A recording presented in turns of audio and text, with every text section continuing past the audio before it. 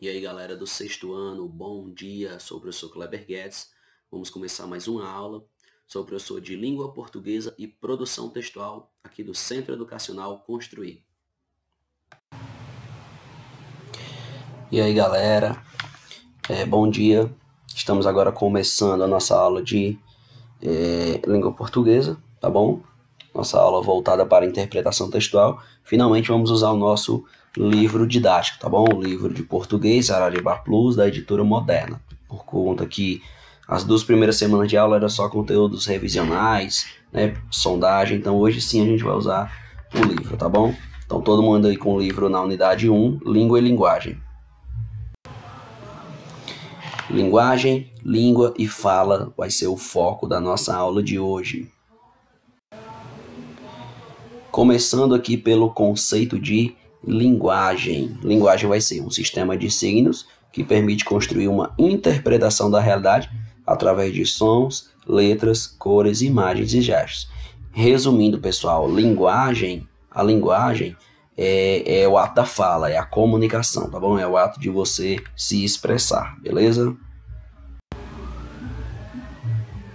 Diferentes linguagens. Então, ó, no nosso dia a dia convivemos com diferentes linguagens, as chamadas línguas naturais, como inglês, francês, português, russo, guarani. Nós nos comunicamos, logicamente, em língua portuguesa, né? Nossa língua materna, tá bom?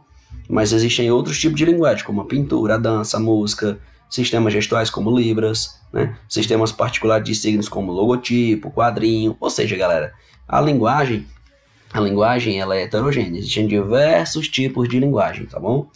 Nós nos comunicamos é, é, através da língua portuguesa, certo? As pessoas, é, as pessoas que, que, que têm é, deficiência, né? As pessoas que têm alguma necessidade especial se comunicam através da linguagem de Libras, por exemplo, tá bom? É, ou então da linguagem do Braille, tá bom? Mas todas elas são consideradas linguagens, tá bom? Não apenas a linguagem oral da fala é considerada linguagem. Existem diversos tipos de linguagem diferentes. Enquanto a língua, a língua é um código, né? Formado por palavras e leis combinatórias, no caso o alfabeto, né? Por meio do qual as pessoas se comunicam e interagem entre si. Estou falando o alfabeto em relação à, à linguagem mais comum, né? A linguagem verbal, falada escrita. Língua, variação e norma. Existem situações em que a língua se apresenta de forma diferente, o que é normal e fatores que favorecem essas variações, como por exemplo, região geográfica, sexo, idade, classe social, profissionais, grau de formalidade do texto, que é o que a gente vai ver na próxima aula, que são os diversos tipos de variações linguísticas que existem. Professor, mas o que é variação linguística? Então, só para resumir aqui, a variação linguística é o fato de que é, nós falamos diferente uns dos outros, tá bom? E são vários os fatores que fazem com que a gente fale diferente nem todo mundo é, se expressa de modo igual. Cada um tem o seu jeito de falar, cada região do Brasil tem a sua forma de falar, tá bom? E a gente vai estudar isso na próxima aula. Tipos de linguagem. Então, olha, no cotidiano, sem percebermos, usamos frequentemente a linguagem verbal e a linguagem não verbal. A linguagem verbal, pessoal, é aquela falada ou escrita, tá bom? E a linguagem não verbal pode ser imagens, pode ser é, fotografias, né, pintura, a gente vai ver exemplos aqui na aula. Então, começando aqui pela linguagem verbal. A linguagem verbal é o uso da escrita ou da fala como um meio de comunicação, tá bom? E já a linguagem não verbal, é a, lingu é, a linguagem não verbal é o uso de, ó, vou dar aqui vários exemplos para vocês imagens, figuras, desenhos, símbolos, dança, até mesmo tom de voz, a postura corporal, né, quando você está falando e gesticulando, é, música, mímica, escultura, é, gestos como meio de comunicação.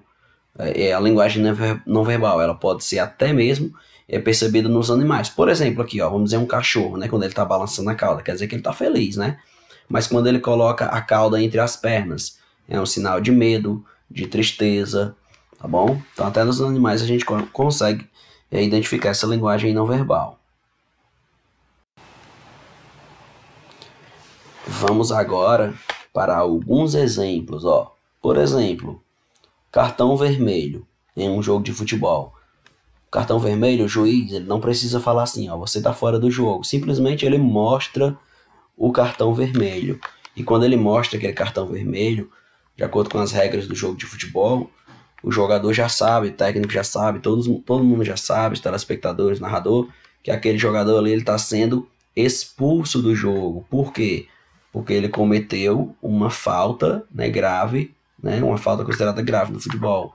Então o cartão vermelho vai ser a denúncia de uma falta. Então não precisa estar tá escrito nada no cartão, né? Você está fora do jogo. Simplesmente o cartão vermelho, a cor vermelha do cartão, já representa isso. Tá bom? Vamos ver mais alguns exemplos.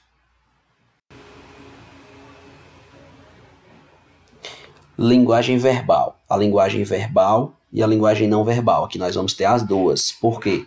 Linguagem não verbal relacionado às palavras e linguagem verbal, é, é, linguagem não verbal relacionada à imagem, né? Temos aí o sol, o cacto, certo? Representando aí como se fosse o Nordeste, né? Mas a gente sabe que o pinguim é um animal de, de que mora no frio. Então é como se o Polo Norte, como se o Polo Sul ficasse tão quente quanto o Nordeste. Tá bom? A gente sabe que o Nordeste, historicamente, é, sofre com diversas secas. Aí tem aí uns ossinhos, né? Representando que animais morreram de fome, de sede. Então, o sol quente, o cacto, pinguim suando, a imagem do pinguim, tudo isso é a linguagem não verbal. Enquanto a palavra Oxente, Polo Norte 2100, é linguagem verbal, porque é escrita. Então a junção das duas é uma linguagem mista. Linguagem mista é a mistura da linguagem verbal com a não verbal. Chegando agora sim, chegando aqui na placa de trânsito, tem proibido virar à direita. Então, o motorista, para tirar a carta de habilitação, ele precisa aprender sobre as placas e as regras de trânsito. Então o motorista tem a obrigação por saber que esse sinal aí representa que é proibido virar à direita. Tá bom? Por mais que não tenha escrito nada na placa, não precisa estar escrito na placa proibido virar à direita. O próprio símbolo já é um tipo de linguagem. Então a gente configura essa linguagem como uma linguagem não verbal. Aquela passada dos pinguins seria uma linguagem mista, né? Porque tinha mistura. Essa aqui é apenas uma linguagem não verbal, porque não tem palavras. Vamos para mais um exemplo aqui. Pronto, essa imagem que nós temos aqui também vai ser linguagem não verbal, porque nós só temos uma mulher levando o dedo à boca, pedindo silêncio. Tá bom? Isso aqui configura uma linguagem não verbal. É, isso aqui é bastante usado em bibliotecas, que é um lugar que não pode estar né, tá fazendo barulho, porque é um, um local de leitura, concentração. Também é usado em hospitais, porque em hospitais você não pode estar fazendo barulho, porque ali tem pessoas enfermas, tem pessoas sendo atendidas, né, precisando de um tratamento. Então, é, essa imagem aí não precisa estar nada escrito dizendo é, não, não faça barulho, proibido conversar. Simplesmente a imagem já representa que é proibido fazer barulho conversar, tá bom? Então aí seria outro modelo de linguagem não verbal.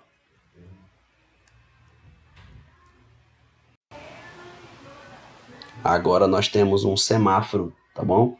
O semáforo nós sabemos que ele é outro modelo de linguagem não verbal, porque ele não tem palavras, simplesmente tem a cor vermelho, que indica que você tem que parar e esperar.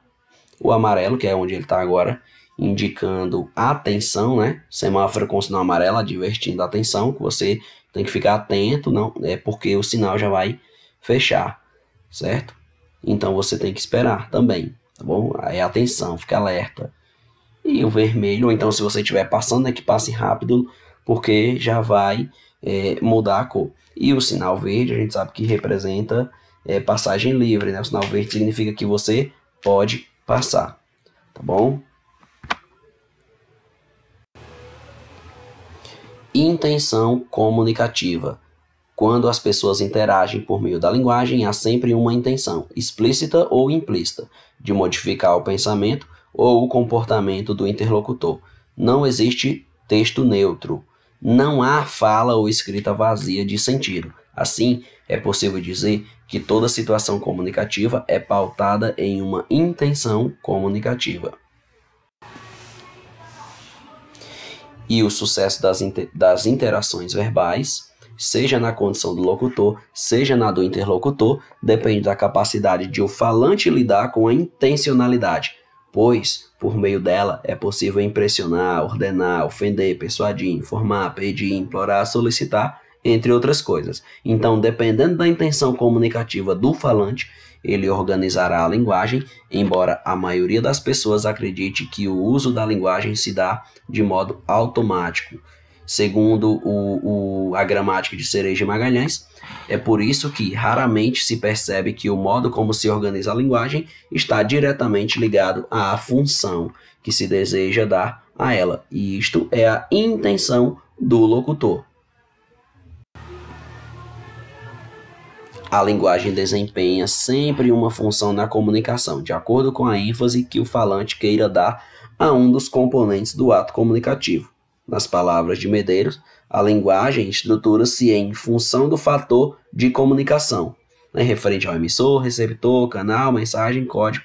Aqui se inclina. Também é outra passagem aqui da gramática, beleza, galera? Dependendo do objetivo da comunicação, o locutor recorrerá a determinados elementos da linguagem.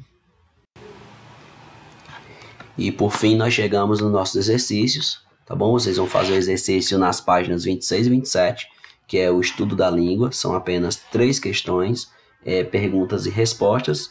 Vocês vão transcrever para o caderno e enviar para o Google Class.